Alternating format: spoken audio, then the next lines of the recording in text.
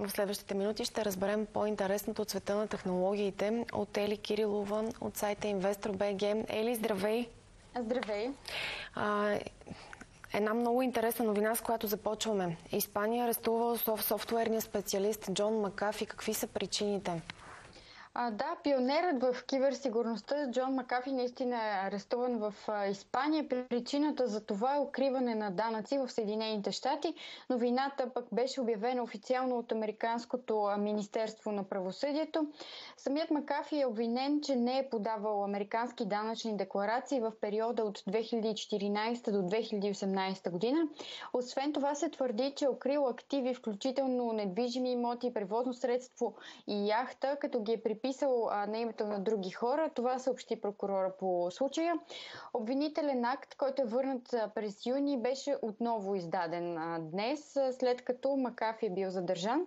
Министерството на правосъдието пък е в очакване на екстрадицията му, обясниха още от а, ведомството.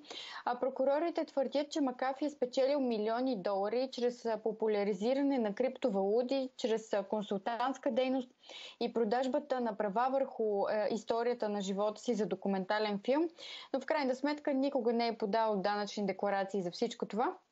Вместо това, доходите му са били изплащани по сметки, които се водят на имената на други хора, твърдят прокурорите.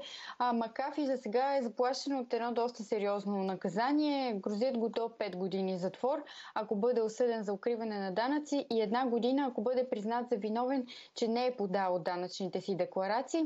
А, това е поредното а, за сега правно осложнение за ексцентричния софтуерен магнат. А, Макафи като цяло стана известен известен през 2012 година, след като избяга в Гватемала, за да избегне полицейско разследване във връзка с предполагаемото убийство на съседа му. Макафи, който поддържаше своята невинност през цялото време, в крайна сметка беше депортиран в Съединените щати, а Белис отказа да поиска екстрадицията му. Като цяло името на Макафи наистина е свързано с доста скандали.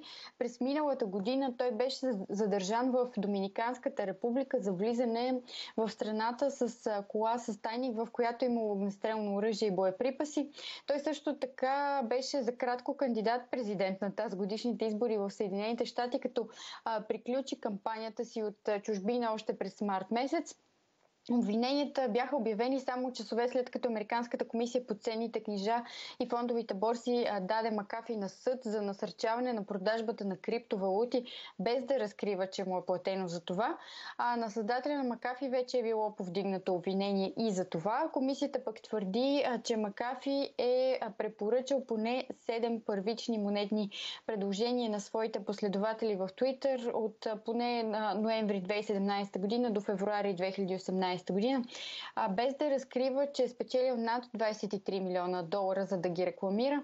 Той също така е винен в отричане, че му е плащано за това, което е попитан по темата изрично от инвеститорите, така че ситуацията за него определено не е розова. Новини има тази сутрин и от Apple. Компанията спира продажбите на конкурентни колонки и слушалки.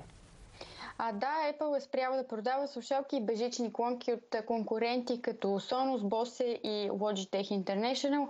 Всичко това се случва в момента, в който компанията се подготвя за премиерата на свои собствени нови аудиопродукти, така че определено прави място а за собствените предложения от портфолиото си. Това разкрива анализ на Bloomberg. Американският технологичен гигант като цяло давно продава хардвер от трети страни в своя вебсайт. Всички слушалки и колонки от Bose, колоните с марката Ultimate Ears на Logitech и най-новата умна колонка на Sonos са изчезнали от онлайн магазина на Apple още в края на миналия месец, сочи проверката на Bloomberg. В последните няколко дни служителите в физическите магазини на Apple пък също са инструктирани да махнат продуктите от търговските обекти. От своя страна книжата на Sonos разбира се реагираха на всичко това и понижиха стоеността си с 7% по време на след борсовата търговия, когато стана ясно какви промени е направила компанията.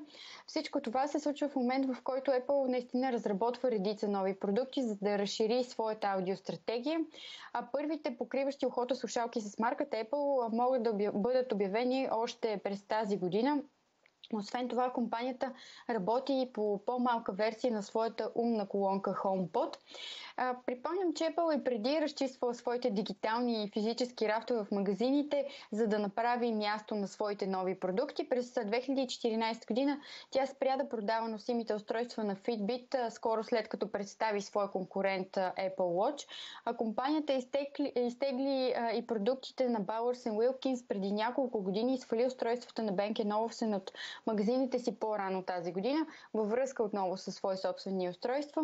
Apple предлага продукти от Boss и Logitech от няколко години, но временно спря продажбата на аксесуарите на Boss през 2014 година, след като въпросната компания заведе дело срещу Beats, която пък е собственост на Apple за патентни нарушения. Случаят обаче много бързо беше приключен с споразумение.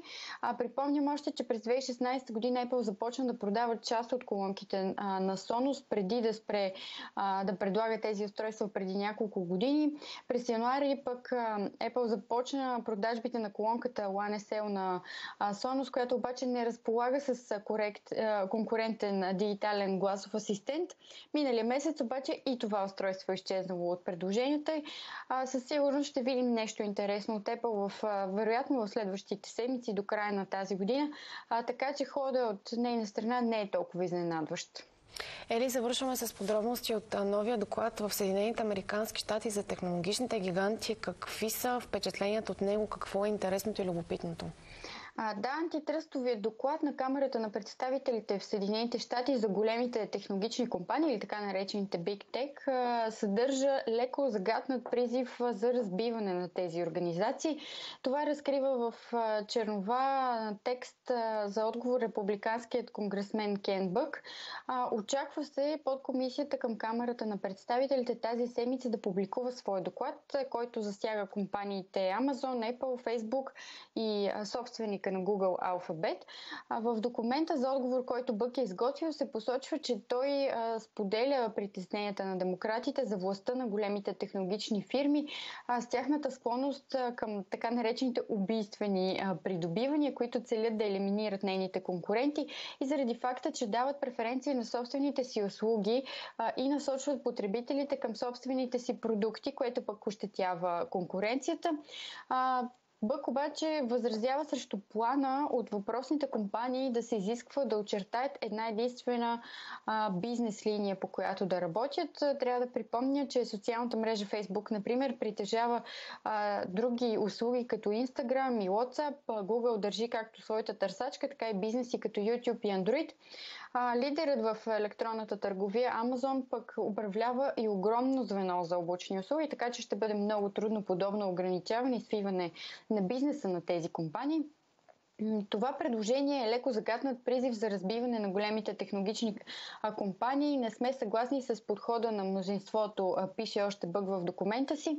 Все още не е ясно и колко републиканци ще подкрепят доклада, който се води от председателя на демократите Дейвид Сисилайн.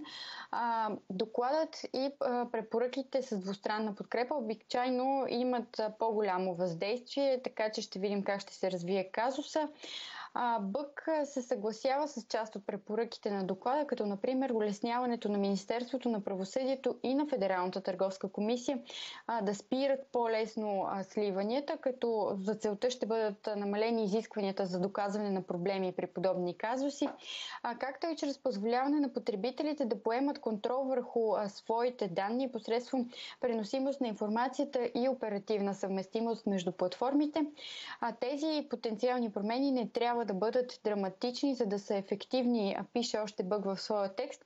По думите му той е недоволен, че докладът не е отговорил на обвиненията, че някои платформи са се опитали да заглушат гласовете на консерваторите, така че предполагам, че в някакъв бъдещ аспект е възможно да чуем и а, какво, а, каква е оценката, свързана с тези обвинения. Ели, много ти благодаря за новините. Още акценти от хай-тек сектора ще намерите в сайта InvestorBG.